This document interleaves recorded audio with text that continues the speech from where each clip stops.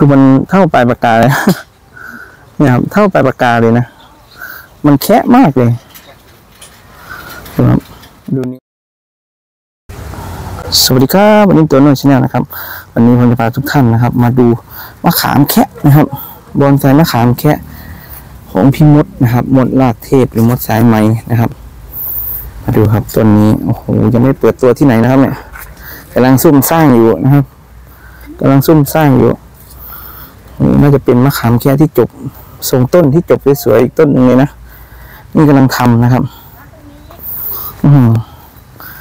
เนี่ยโครงสร้างมาดีมากเลยครับทำกิ่ง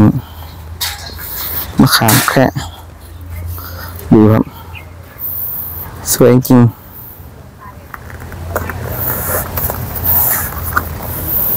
นะครับดูโอ้โหมะขามแคระ ขามแคระนะครับ ดูว่ามันแคระขนาดไหนนะครับ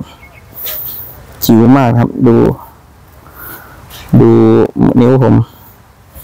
อ่าดูปากกาใหญ่กว่าปลายปากกา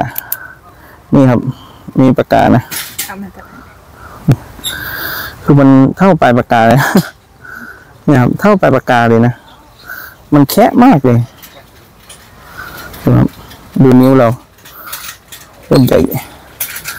มือนมือเนี่ยใหญ่โอ้โหมะขามแคะนะครับก็กำลังหนัก ก็กำลังสร้างนะครับ ก็รอติดตามนะครับ ต้นนี้ สวยสวยครับสวยนะครับ ที่เสียบยอดไว้ก็หลายต้นนะครับ เนี่ยนี่เสียบเสียบกิ่งไว้ เสียบยอดมะขามแคระนะครับ พวกนี้ก็มีราคาหมดนะครับ เนี่ยนะครับสองพันสองพันห้านะครับเสียบไว้หลายต้นเลยนะครับเยอะมะขามแคระดูโอ้สามพันแปดนี่ครับมะขามก็เสียบกิ่งไว้นะครับมะขามแคระใครมีก็อ่าลองเอาไปขาไว้ซื้อไปขยายพันธุ์นะครับ เอาไปลงดินนะครับ มันก็น่าจะเร็วนะครับนี่ครับ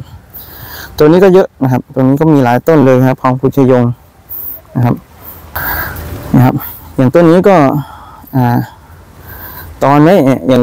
นี่ก็ตอนไว้กี่กิ่งนะหนึ่งสองสามสี่สี่กิ่งห้ากิ่งนะครับ นี่ก็ทำก็เสียบนะครับนี่เสียบเสียบเหมือนกัน นี่ก็ทำโอ้โหตอนขยายพันธุ์นะครับ เนี่ยอย่างนี้ก็เสียบเสียบเสียบไว้เสียบไว้แต่น้อยเลยนี่ครับ มะขามแคระนะครับ พอมาทำเป็นบอนไซนะครับ พอทำเป็นบอนไซทรงต้นแบบนี้มันก็สวยเหมือนกันนะก็ทำได้หลายสไตล์ครับ ทั้งบิดเอี้ยวหรือว่าแบบไหนก็ได้หมดเลยนะครับ สวยดีนะครับ เอามาถ่ายมาให้ชมนะครับ เดี๋ยวถ้าจบมันน่าจะสวยมากครับต้นนี้ โอเคครับไปนะครับสวัสดีครับ